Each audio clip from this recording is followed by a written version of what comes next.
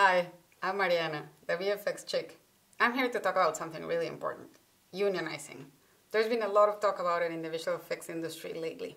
Unfortunately, there's tons of misconceptions and rumors about it floating around, and I'd like to address some of them. Misconception number one if I sign a rep card, my employer will find out and I'll get blacklisted. False.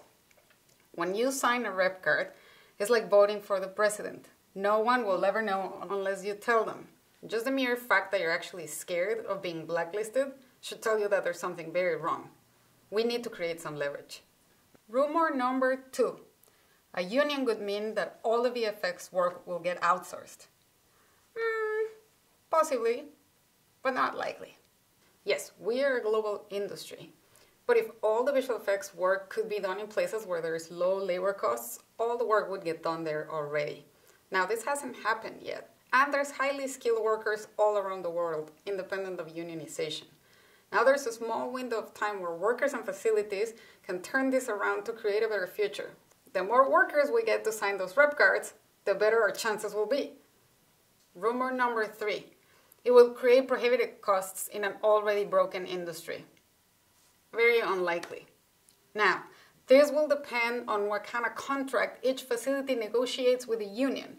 Nobody's going to benefit from the companies going bankrupt. That is the complete opposite of what IATSE is trying to do. Rumor number four I'm fine. I'm a staff with benefits. I don't need a union. Really? You really don't need a union?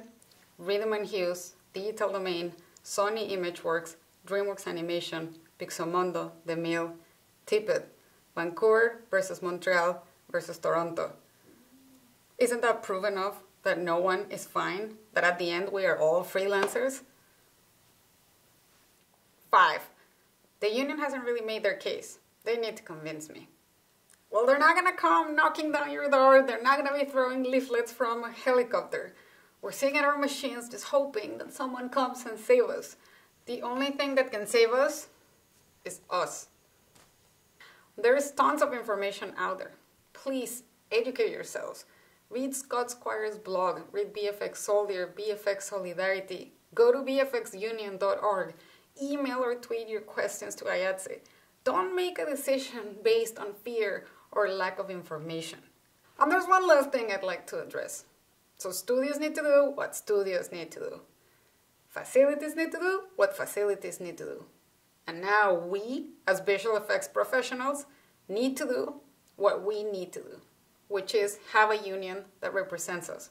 So please, while that render is going, sign your rep card. It's going to take you no time, and you can do it online on vfxunion.org.